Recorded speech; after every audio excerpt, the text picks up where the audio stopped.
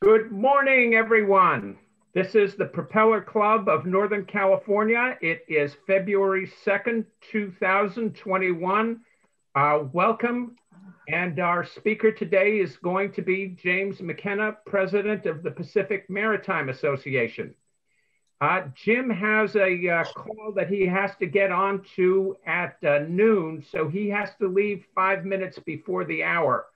So we are going to do very quick introductions and then we will chat a little bit um, after Jim leaves. Uh, we have some uh, people who are here that uh, we could visit with for just a couple of minutes. But uh, what I want to do is I want to start our doing our introductions and almost everybody seems to be here. Uh, well, we're about halfway there. So I'm going to start the introductions um, and uh, I'm going to start with uh, Jim McKenna. Jim, would you introduce yourself? Good morning. I'm Jim McKenna, President and CEO of the Pacific Maritime Association. Thank you, Jim. Uh, we have Kees. Introduce yourself. Hello, everybody. I'm Kees van Pelt uh, from Holland. I'm working in the port of Rotterdam as a, a mechanical engineer. Thank you. Then I will start with uh, Mr. Kirby. Thomas. Thomas. Good morning. My name's Thomas Kirby. I'm an internal organizer with the Brotherhood of Maintenance of Way, part of the Rail Teamsters. Um, I'm com coming from uh, joining you from uh, Muncie, Indiana. Thank you. And your brother in uh, in the union, Mr. Kerry Dole. Good morning, Kerry. Good morning, everybody. This is Kerry Dahl calling in from Sacramento, California. I'm the organizing director for the Brotherhood of Maintenance of Way, again, the rail conference of the International Brotherhood of Teamsters. Thank you. Uh, Bill Nixon, good morning. Morning. Bill Nixon, working with Transmarine Navigation Tramp Ship Agents. Thank you very much, Bill. And Mr. Arrive, Kim, good morning. Good morning. Kim Arrive, retired Pacific Maritime Association, Director of Training. Very good. Thank you very much, Kim. And Mr. Peter Olney. Good morning, sir. Morning, Stas. Thank you for hosting. Uh, Peter Olney, uh, retired organizing director of the International Longshore and Warehouse Union. Thank you very much. Mr. Brian Brandes, Good morning, sir. Morning, Stas. Uh, Brian Brandes, Director of Maritime with the Port of Oakland. Thank you very much. Scott Taylor. Good morning, sir.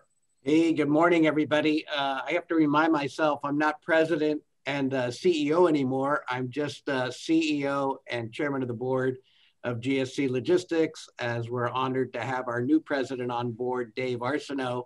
Uh, hopefully, he'll be joining us soon, but I know he's on another call. It's a pleasure to see all your smiling faces this morning. Thank you. Scott, um, would you hang on afterwards? Um, I have a question that I want to ask you. I'm doing a story on uh, the Clean Air Action Plan, and I wanted to ask, a, I wanted to get your feedback on that. So be glad to, but I have a 12 o'clock call that I have to get on. Maybe, okay. maybe we I'll, can do it later today. That would be fine. Thank Great. you. Thank you. Andrew Wong, good morning, sir. Good morning, everybody. Andrew Huang, uh, Manager of Business Development and International Marketing at the Port of Oakland. Very good. Thank you. Lauren Brand. Lauren. Hello. Thank you, everyone, for allowing me to be here today. Uh, Lauren Brand, President of the National Association of Waterfront Employers and Executive Director of the National Maritime Safety Association. Lauren, welcome. Thank you for attending. Alice, good morning. Good morning, Alice Herring, Golden State Renewable Energy. Good. Hi, Alice. And board member of the Propeller Club. Of course. uh, Tosca Pinder. Good morning, Tosca.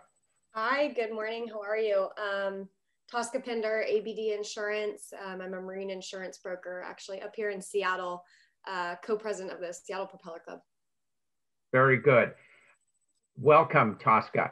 Anita Yao. Good morning, Ms. Yao. Good morning, Anita Yao from Port of San Francisco, Wharfinger, and also board of a member, uh, uh, uh, one of the directors. Okay, good morning. Hi. Good morning. John Burge. Good morning, John.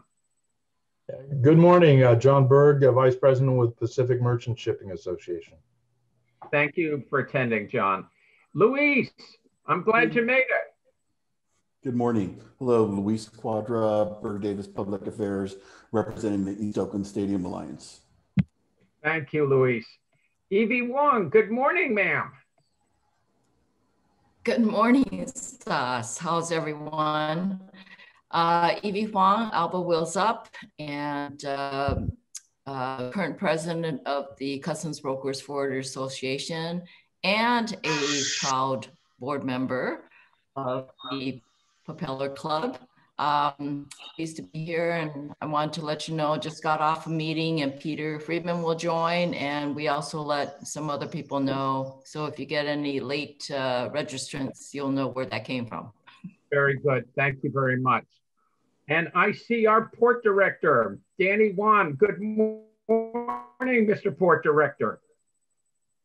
Yes, how are you? Good morning, everybody. Uh, thanks for holding this uh, this again. And I, I just want to say that uh, your seminars are so helpful. I look forward to hearing uh, today's presentation. Thank you very much, Danny. We appreciate that. Uh, and from the Port of Long Beach, I see Noel Hacegaba. Good morning, sir. Good morning, Stas, and hello, everyone. I appreciate the invitation. Noel Hacegaba, Deputy Executive Director at the Port of Long Beach, and also pleased to be here. Looking forward to the presentation. Thank you very much, Noel, and, and welcome. Thank you. Uh, Sage, I don't have your last name, and I see you were struggling with a little one there.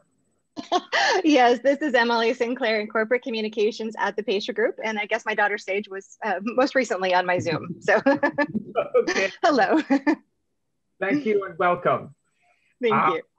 Mike Heineman, good morning, sir. morning, Stas. Uh, Mike Heineman, uh, Port Maritime, uh, Port of Oakland. Very good. Welcome. Uh, I see Brian Bauer. Brian, do you want to introduce yourself? Hi, good morning. Brian Bauer. I'm the GM at uh, TraPac Oakland, uh, Marine Terminal Operator here. Very good. Brian, welcome. Susan Sullivan, I see you. Good morning, ma'am. Good morning, Stas and everyone. Yes, I am here. I work with Pasha, the Pasha Group, and I'm a member of the Board of Directors. Very good. Welcome, Susan. Thank you. Uh, I, you take care and we'll get back to you later. Uh, Andre Coleman. Good morning, sir. Good morning, Stas, and good morning, everyone. Andre Coleman, Maritime Director with the Port of San Francisco. Excited to be here. Look forward to the discussion. Thank you very much, sir, and welcome. And uh, okay, uh, I see George Pasha here. George Pasha, are you there? I'm, I'm here, Stas. Thank you very much. And again, appreciate uh, you hosting uh, today and look forward to Jim McKenna's comments. Thank you very much, George. And uh, I have Susan Duran. Susan? Good morning. Susan Duran with Flexivan, uh, West Coast Chassis Pool Director. Thank you for uh, inviting me. Well, you are welcome, Susan, and thank you for attending. Um, I think I have everybody. Uh, Todd, um, did I get everybody? Uh, Joe just came in, uh, Joy, and uh, Frank Ramirez is coming in right now. Uh, okay, Frank Ramirez. Frank, can you hear us? And Joy Wallenberg just came on. Ellis Wallenberg. Yeah, Ellis. hi, Stas. How you doing? Good, good. Good to see you. Nice to see you. Thank you for having us. Okay. And this, I will we'll talk later. Mr. Ramirez, are you there? I am. Good morning. Good morning. Would you introduce yourself? Yeah, Frank Ramirez. I'm with the Governor's Office of Business and Economic Development. I'm the Deputy Director of Goods Movement and Sustainable Freight. Okay, very good. So everybody, um, if anybody wants to stay on afterwards and uh, we'll do a couple of reintroductions, that would be fine. A couple of people have to go. Uh, Jim has to be gone at uh, five minutes to the hour. So uh, without further ado, I am going to introduce our speaker, who is James McKenna. He is the president of the Pacific Maritime Association, a position he's held since 2004. During his tenure, he has overseen successful contract negotiations with the ILWU and helped to make the association more business savvy. He has four decades of maritime industry experience, most recently at Horizon Lines as Chief Operating Officer, and he holds an MBA from the University of Tennessee. Um, I have asked Jim to come and speak to us about the situation um, with the ILWU, especially as it uh, impacts the COVID situation, um, and also to discuss uh, congestion issues down at LA Long Beach. But uh, the PMA recently issued a report um, on uh, rail competitiveness issues, which is why we have a couple of uh, rail union uh, representatives with us today. And I've asked Jim if he could discuss that as well. So Jim, I made it very easy for you and uh, we'll try and take a few uh, minutes of uh, Q&A afterwards. And um, so Jim, uh, welcome to the uh, Propeller Club and uh, we welcome your remarks and inputs and everybody make sure that they have muted themselves so we can hear Jim clearly. Is everybody muted? Good. Okay, Jim, you have the floor. Welcome. Thank you. Good morning again. Certainly a pleasure to be with you today. Um, nice to see a lot of familiar faces. You know, everyone being uh, working remotely, it's uh, usually you're just looking at people or listening to them on the phone, but uh, good turnout. I'm going to touch on a number of subjects today, so let's just dive right into it. Uh, first up, PMA's relationship with the ILWU. You know, I think we have a good working relationship on all levels with the ILWU. On the international level, where my senior management group and I, along with senior employer representatives, work with the members of the ILWU International on issues that impact the entire coast. And on the area level, where PMA and employer representatives work with local ILWU officials on issues specific to their areas of responsibilities. Now, I'm not saying that we don't have disagreements because that's just the nature of the business. However, I think we collectively strive to find middle ground that works for both sides. Although I do have to admit the meeting by phone or video is, is not as productive at reaching agreement as doing a, a, a face-to-face. Uh, but a great example of the cooperation by the two groups is the collaborative effort being put forward by both groups in addressing the issues that the pandemic has created. So that is a great segue into, into my next uh, my next topic, and that's PMA and the ILWU's progress in protecting our essential workforce from COVID-19. I can assure you these issues have consumed both parties during the past 10 months as rightfully they should have. We are constantly meeting to discuss protocols and processes and to improve on those already in place. There's not a playbook here where you can fall back on experience or past practice. This is all new to all of us. And given the severity of the virus, it is all our attention all the time. Protocols and processes that we have jointly agreed to and put into place include we have a portal where essential workers can self report positive or negative results and the need to quarantine given potential exposure. And this portal helps us or assists us in tracking and tracing individuals. Next up, we have another portal, a self-reporting, which allows an individual to be compensated by the industry for time missed to COVID-related issues, while also helping individuals stay at home and take care of themselves when they feel ill. Next, we ensure cargo handling equipment is cleaned and sanitized after each use. And we also provide PPE to protect workers and stressing social distancing when practical. In some locations, we are even uh, conducting temperature checks prior to entering the terminals. Even with all our efforts to keep our workforce healthy, the virus has taken a tremendous toll. In Northern California, we have 72 positive cases with two deaths. In Southern California, the epicenter of the COVID uh, virus for the last month, month and a half, we have 855 positive cases, which half of them have occurred since the first of the year. We also have 13 deaths. In Washington, we have 66 positive cases with no deaths reported. And in Oregon, we have 41 positive cases with no deaths reported. We certainly all mourn the loss of life. Even with the health risks our workforce faces, I can't thank them enough for their dedication during these difficult times. Additionally, we collectively realize that California ports play an integral role in the economy of the state and the nation. At last count, 3.7 million California jobs are tied to California ports, creating $743 billion in total economic value and representing 32% of the state's GDP.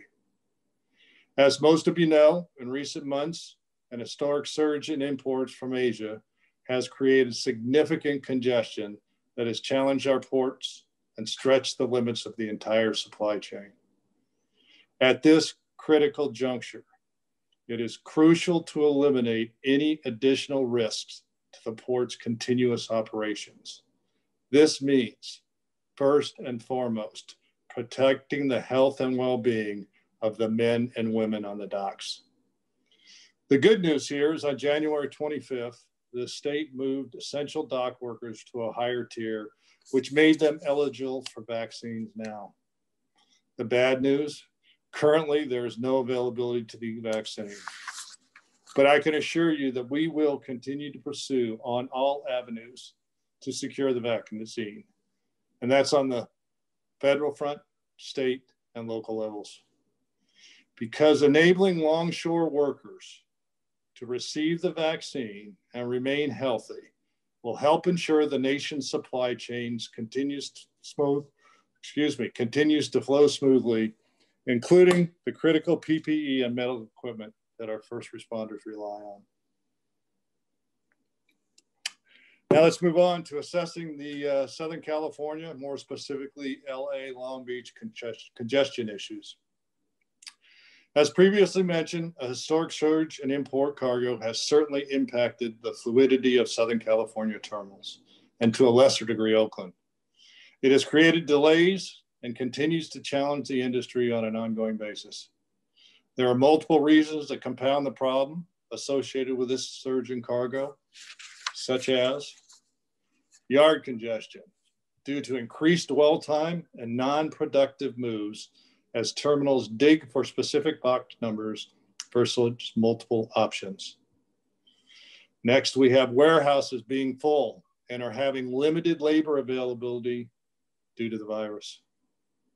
We have chassis shortages driven by containers remaining on the street longer and are being utilized for storage. Number of vessel issues.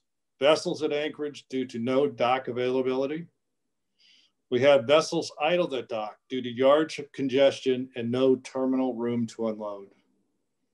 Also, vessels shorted due to restricted skilled labor availability, and vessels at anchorage due to crane replacement temporary closing one berth, specifically in Oakland. However, let me be clear here. The restrictions are not only due to the surge in cargo and yard congestion but also due to the fact that at any given time, we have hundreds of longshoremen unable to work due to COVID 19. Our workforce has absolutely gone above and beyond during the pandemic. Those that can have shown up day and night and have done all they can to ensure that cargo continues to move. They absolutely deserve our appreciation and our respect for their heroic efforts. Now I'm going to switch gears and uh, go to something that Stas already mentioned, and that's the fact that earlier this year, PMA commissioned Mercator to conduct two studies analyzing the competitiveness of US West Coast ports for the handling of discretionary cargo.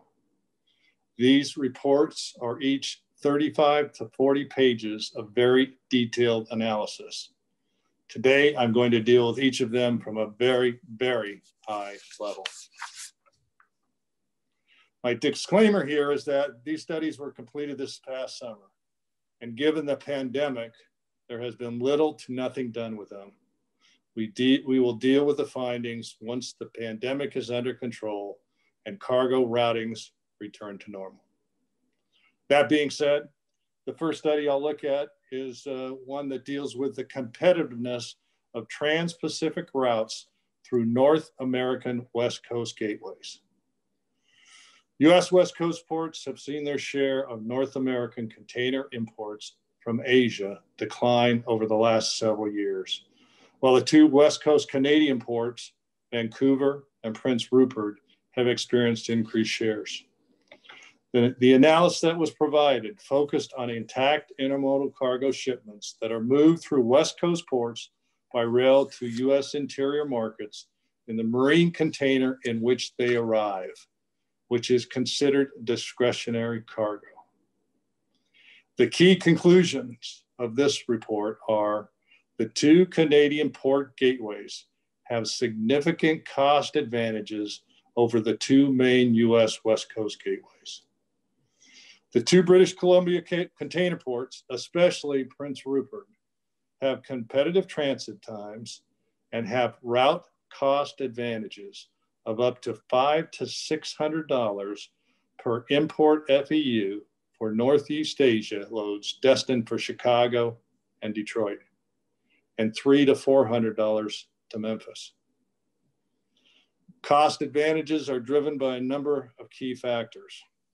They are lower unit cost for marine terminal lease rates and lower terminal labor cost. Also, avoidance of payment of the harbor maintenance tax and the Alameda Corridor transfer fee. Envir environmental regulations, most notably the additional cost for compliance with CARB. And last but not least, lower cost for locomotive fuel and maintenance and repair based on the fact that trains coming out of Canada only require one locomotive and trains coming out of the West Coast require two because of topography. The combination of the British Columbia cost advantages has and will continue to heighten the risk of further losses. Additionally, expansion projects currently underway in container terminals in Prince Rupert and Vancouver could provide these two ports with the physical ability by 2022 to divert 15% more of the intact intermodal cargo now moving through United States West Coast ports. Further, over 45% of the US current intact intermodal cargo is at risk of dispersion to BC ports over the balance of this decade due to the two ports considering long-term planned infrastructure improvements. So that's uh, that's quite a mouthful, but it's it's certainly a big concern for for the West Coast ports and, and how to deal with this uh, continuing leakage of uh, of intermodal cargo, I should say discretionary cargo leaving the coast. Uh, finally, my last topic for today is the second Mercator study, which looks at the competitiveness of routes for Asian origin intermodal import containers through alternative US gateways. Okay. The relative competitiveness of the US West Coast ports for Asian imports into the interior of the US versus other US ports depends on from which Asian country port the cargo originates and which inland market it is destined.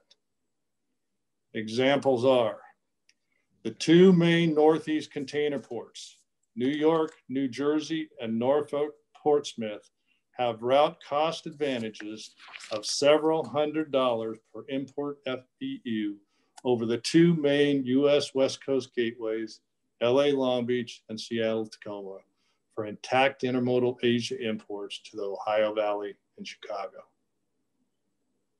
The major Southeast port, Savannah, has route cost advantages of several hundred dollars per FEU for Asian imports to Southeast markets such as Atlanta, Memphis, and the Ohio Valley markets and Chicago versus the two West Coast intermodal gateways. The major Gulf Coast gateway ports, Houston and Mobile, have significant route cost advantages to Dallas and Memphis versus both LA, Long Beach, and Seattle and Tacoma gateways, but presently lack sufficient marine terminal and or rail terminal capacity to capitalize on those advantages. However, recent and or pending infrastructure improvements in the ports of, ready for this? Savannah, Charleston, Norfolk, Portsmouth, Baltimore, and New York, New Jersey will provide capacity to handle an incremental 500,000 TEUs. Any initiative of the California or Washington governments that increase cost for US West Coast gateways and or fails to address cost advantages of the East and Gulf Coast ports will further compound the problem. This does not take into account sourcing, sourcing shifts, easy for me to say, away from Southeast and Southwest China, which benefit all water sailings through the Suez Canal, which further exasperates the problem. The two main US West Coast gateways, specifically for Asian origin imports into the interior of the United States, have significant cost disadvantages versus other US port gateways. East and Gulf Coast ports have much lower rail transportation cost that offset the higher ocean transportation costs for all water services. They also have lower unit costs for marine terminal labor and lower terminal lease rates.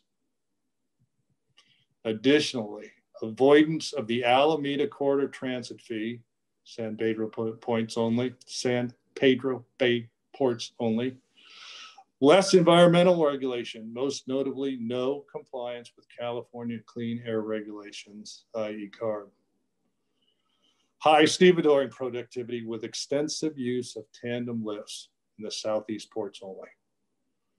Route cost advantages range from, are you ready?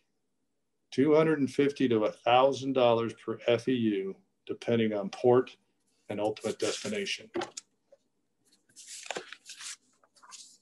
Now, with all that good news, I, I, I absolutely have to leave, leave on a little bit of a positive note here and that is the fact that LA Long Beach, as well as Seattle and Tacoma, have in general a three to four day or more transit advantage depending on where the container originates.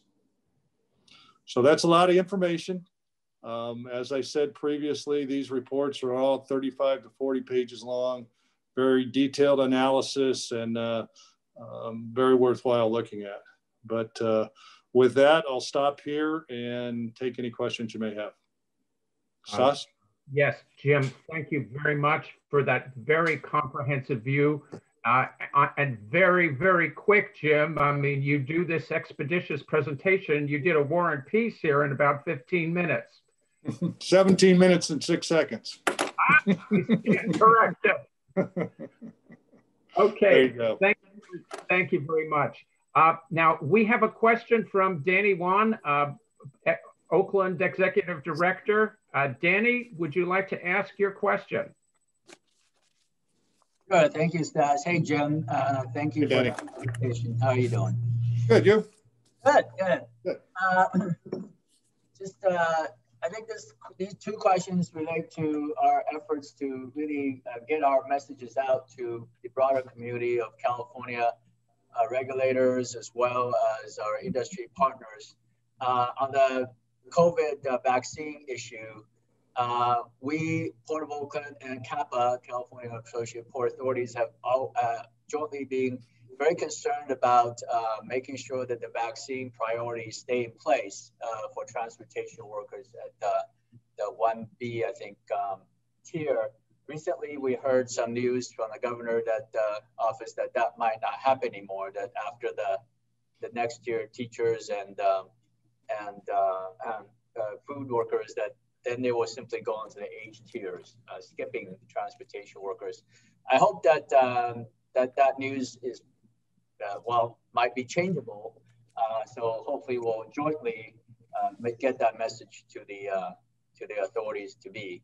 On the competitiveness issue, also we uh, every chance we get when we talk to uh, our representatives that the regulation is one of the factors of cost, of course, environmental regulations. I think the message we've been putting across is not that California is not committed. We continue to be committed to zero emissions, to making sure that uh, we get the reach the governors and California goals, but that California as a whole and the industry as a whole need to really get the message across that the federal government need to equalize that um, that disadvantage in terms of making sure the rest of the country follows up uh, in making sure that our regulations are equal uh, so that we don't have that disadvantage and that the investment in California really needs to be ramped up a whole lot uh, from the federal government infrastructure perspective. So I thought um, uh, just to inform you what we're doing and hopefully Jim that we can coordinate, we, that we are coordinating on those messages.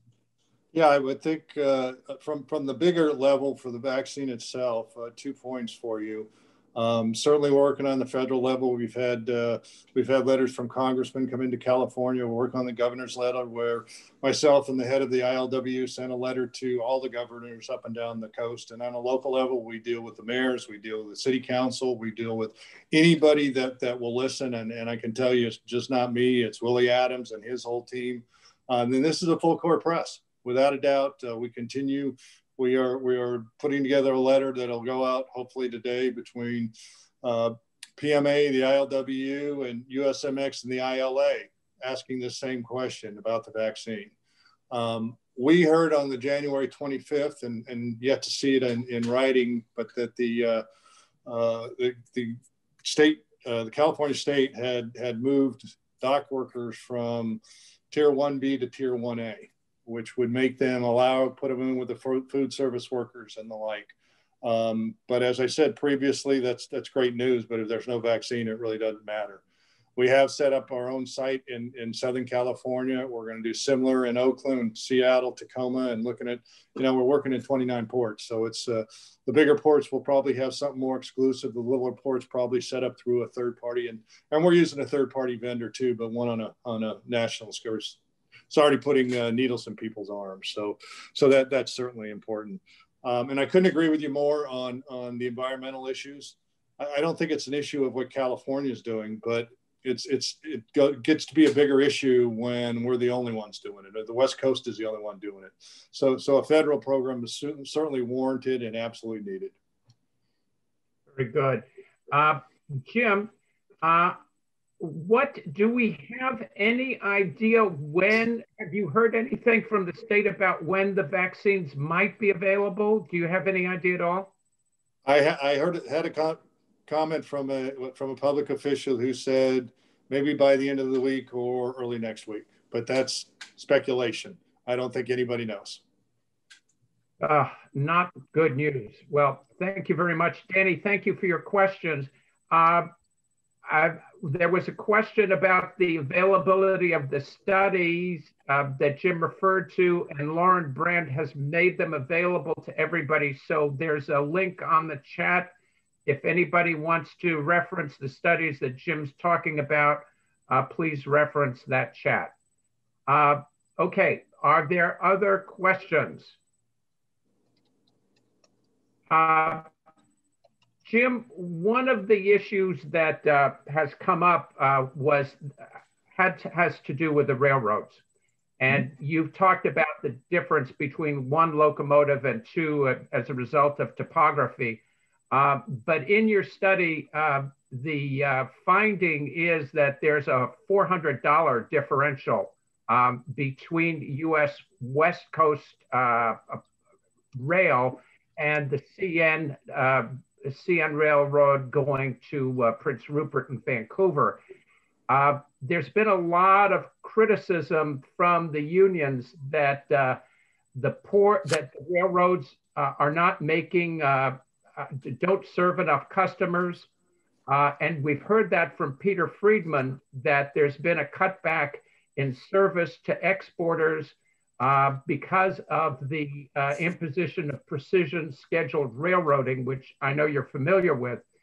Um, are there issues, or let me put it this way, are, we have to wait till the COVID situation is over, but are there avenues that the railroads could pursue to reduce the cost of rail deliveries to U.S. West Coast ports? And uh, the, my follow-up question is, why is it so much cheaper on the East Coast than it is on the West Coast? Well, the East Coast cheaper because they're going a shorter distance, right? Okay. They're going all water service to the East Coast and the Gulf, so the distance they're running is shorter. It's not doesn't have anything to do with, you know, the favoring East Coast over West Coast. Um, if you look at, at the, the rail difference between the West Coast and Canada, yeah, it's five to six hundred dollars. Um, and and I can't tell you what the rail costs are because I don't negotiate those rates. Um, we did put a, group together to look at what impact it was having, and the railroads were a part of that group. Unfortunately, as I said, um, the pandemic has changed everything. So, so all these these efforts to look at it, to analyze it, to look at, at, at you know self help programs, any fixes, have really have really stalled. And I think the the real effort now, it's plain and simple got to keep workers safe. We got to keep the docks open, and we got to do everything we can to get needles in people's arms. Very good. Thank you, Jim.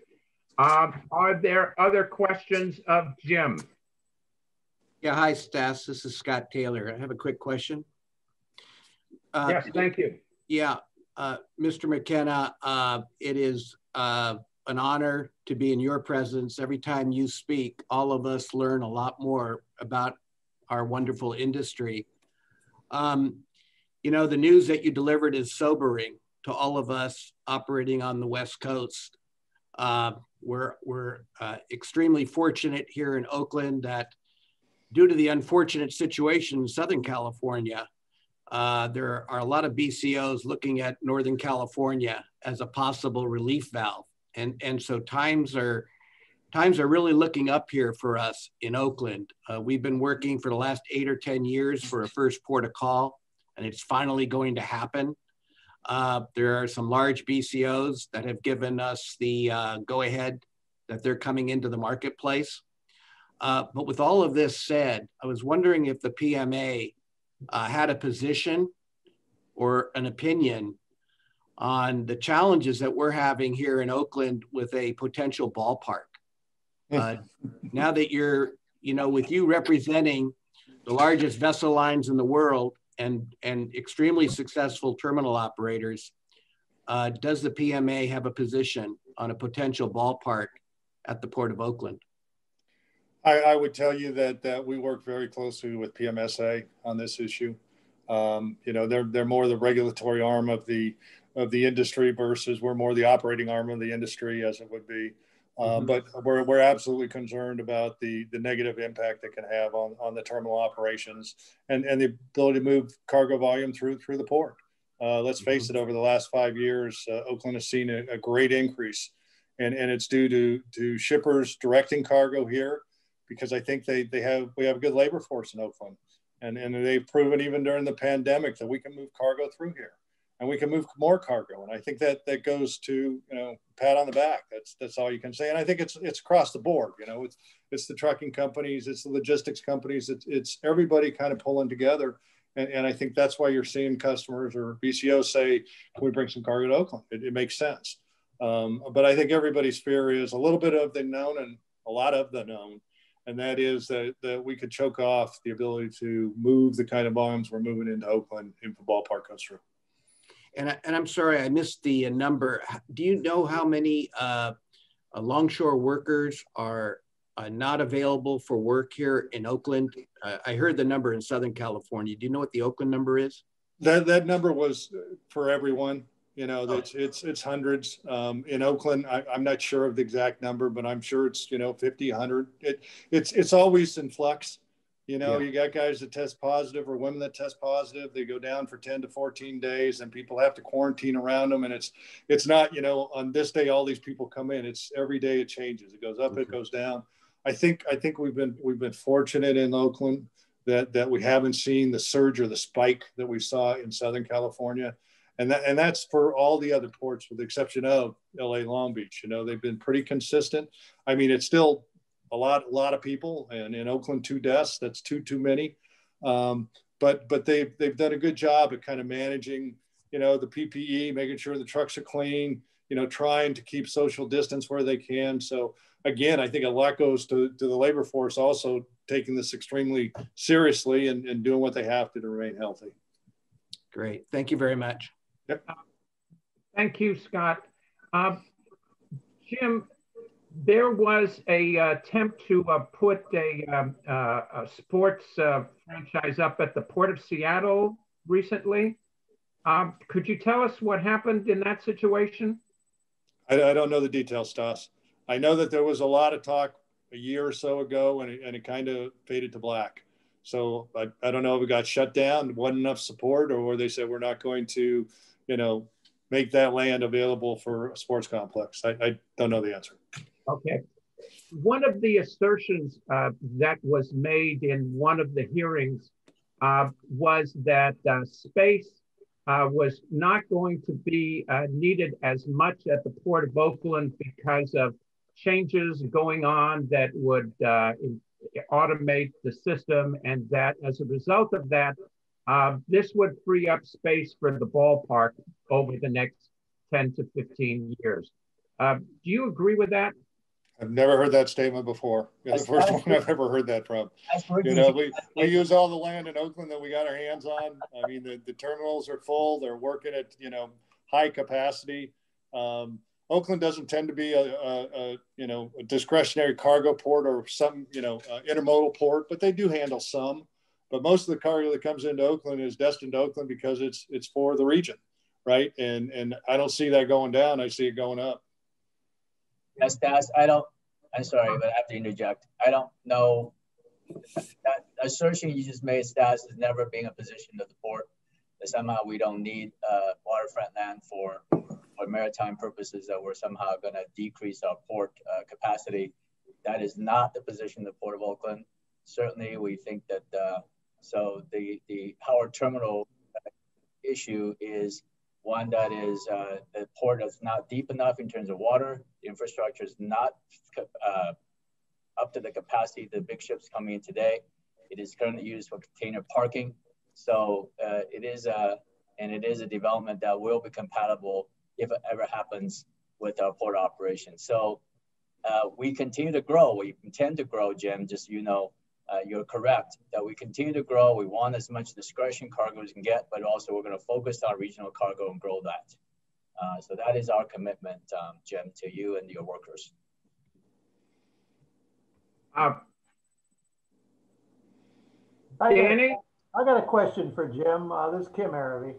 Um, you know, I see the ships are going higher and higher on deck and we had a big catastrophe with one of the ships headed to uh, Mexico to offload all the damaged containers. Do you have anything, any insight into that area? And you know, the ships ships are just getting bigger, right? I mean, that's that's the name of the game. You know, economies of scale. Um, the, the bigger ships certainly are going into Southern California because you know the the region demand is bigger and all the intermodal cargo that's on them. But you know they're I, I don't know if they'll get much bigger. I think at, at some point in time, everybody said you know maybe 18,000 is the right number, not 22, 24. But those are commercial decisions, and and that's what they're driven by. I don't know the exact circumstances for the ship you're talking about, Kim, um, but it's it's not unusual these days to see ships lose containers over the side due to weather, due to you know stowage, due to all kinds of concerns. Thankfully, it's not very frequent. Very good.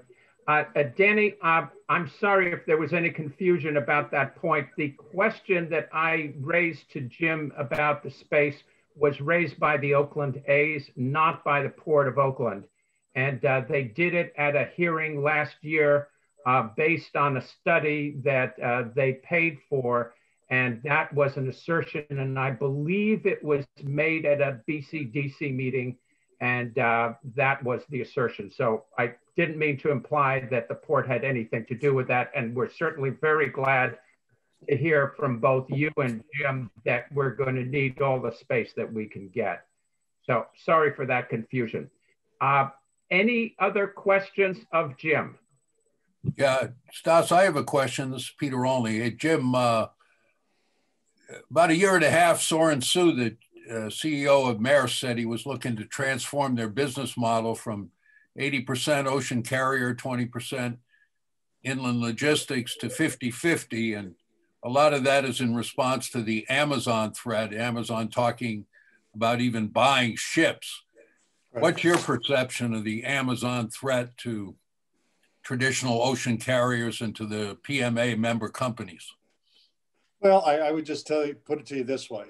Um, I think our member companies look at, at all options, all concerns. You know, you have some powerful players out there, whether it's Amazon, Walmart, Target. Um, you know, through the ages, there have been lots of rumors out there about, you know, individuals starting their own companies and, and going into the business. Um, this is this is a very complicated business. Um, it takes a lot of logistics. It takes a lot of land. It takes a lot of skilled labor. Um, it's not something that you can wish to happen. Um, so I, I, think everyone takes those threats seriously, and they develop, you know, plans to address them if the cases do start to evolve but I haven't heard of anybody, well, not that they share their commercial decisions with me or plans, but I haven't heard anybody saying this is this is how we're going to we're going to change this and we're going to change this now. So yeah, I think it's on people's radars, but but I, I don't know anybody that has actually made that that, that quantum leap into a 50-50 split. Okay. Uh, thank you, Jim. Um, other questions? Evie, um, Evie Wong. I have a comment and, and a question. Um, Jim, uh, this is Evie Huang. I'm a customs broker and uh, one users of the port, uh, custom broker freight forwarder. And um, I'm also part of a couple organizations, one of which is AgTC.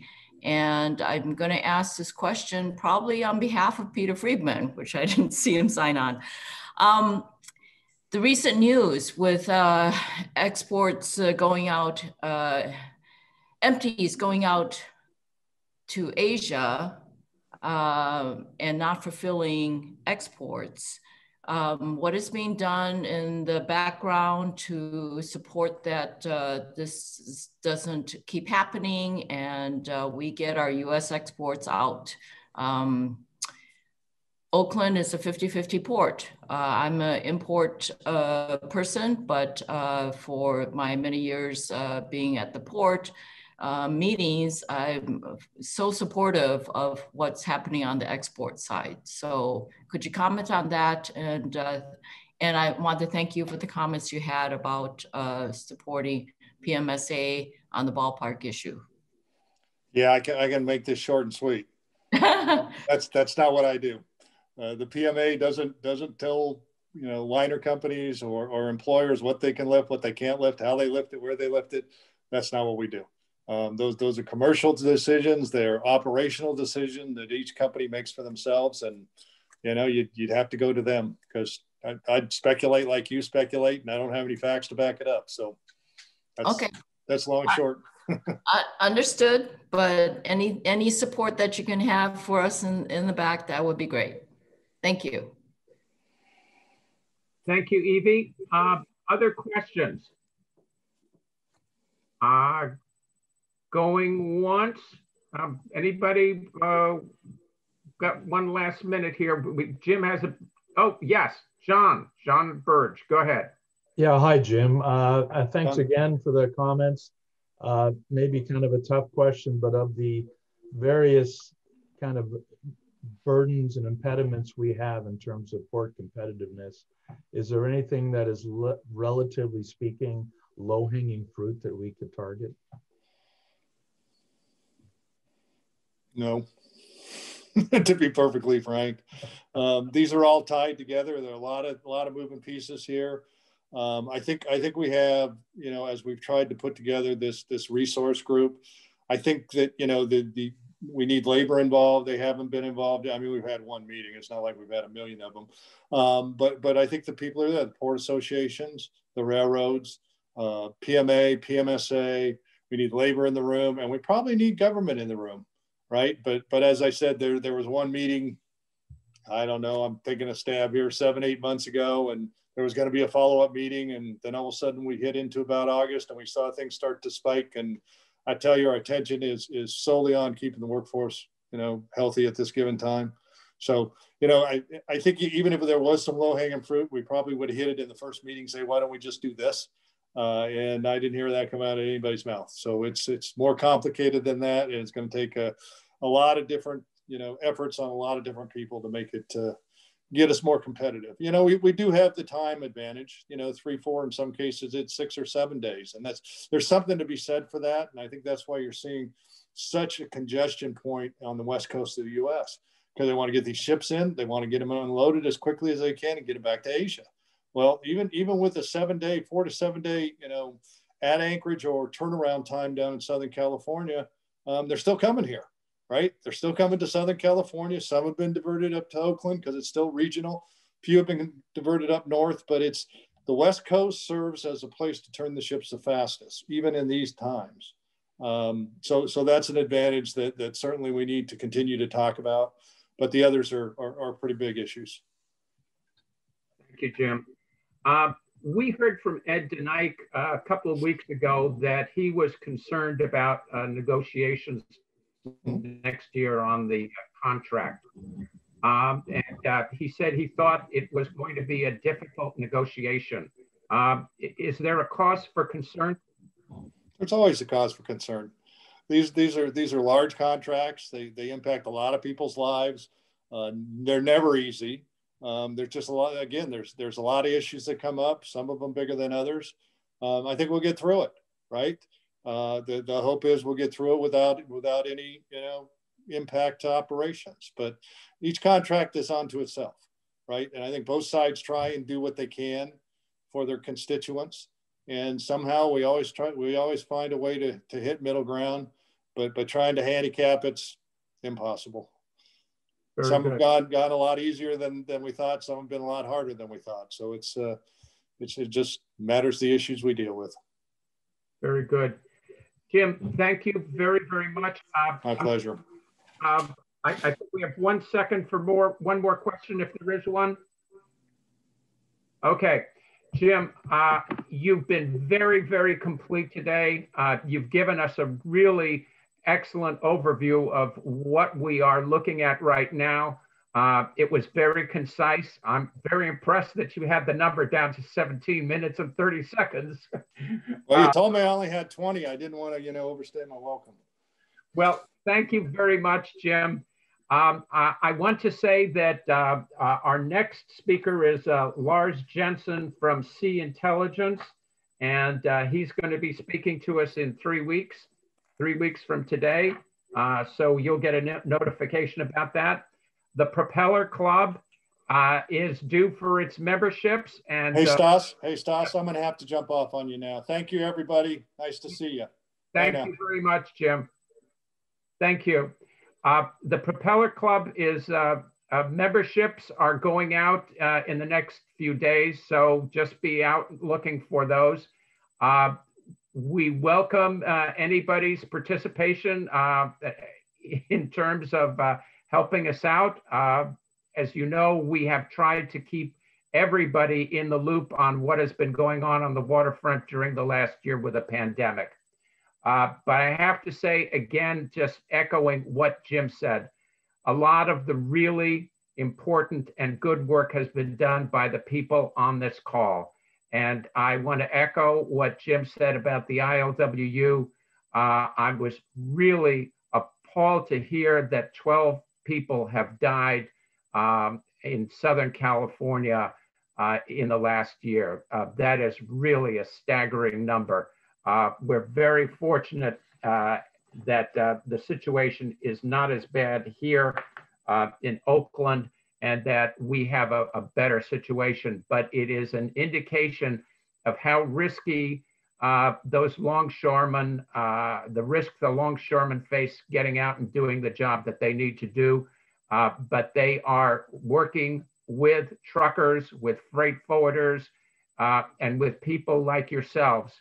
And I want to thank you all for the good work you're doing. We have to hope that this is going to end uh, at some point and that we will get back to normal. Um, and I, I want to say to all of you, thank you for your service. We will see you in three weeks. Please take care of yourselves and please continue the good work that you do. Thank you very much and see you next time.